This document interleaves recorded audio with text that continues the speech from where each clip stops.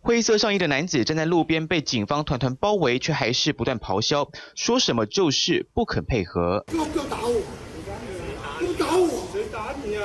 等我去状啊！一度靠在轿车旁，头低低的，明显喝多了，已经站不稳。他不止酒驾，连撞好几台车，还想照逃。事发现场，肇事的银色轿车车头已经撞烂，安全气囊爆开。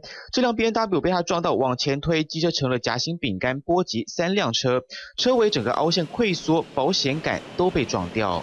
嘣的一声很大声，在那个时尚便当那里撞，一路撞到这里。二十五号凌晨两点多，刘姓驾驶酒驾行经台北市八德路，先是连撞三辆车，还有路灯，当下照逃往前冲约二十公尺，撞上豆浆店，还想再跑，才被民众拦下。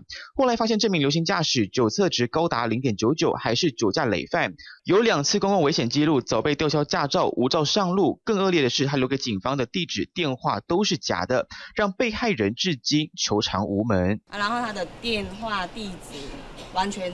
我们现在都找不到他人，然后那台车他撞烂了，在那一边，啊，他他也不出来处理。豆浆店的员工在洗碗，他车子开过来，很要冲过来的时候，他刚好他人逃开了，不然连他都撞上去。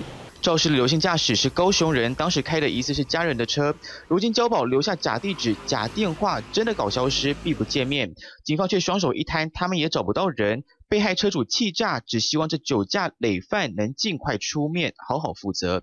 TVB 的新闻陈建敏和关毅泰报道。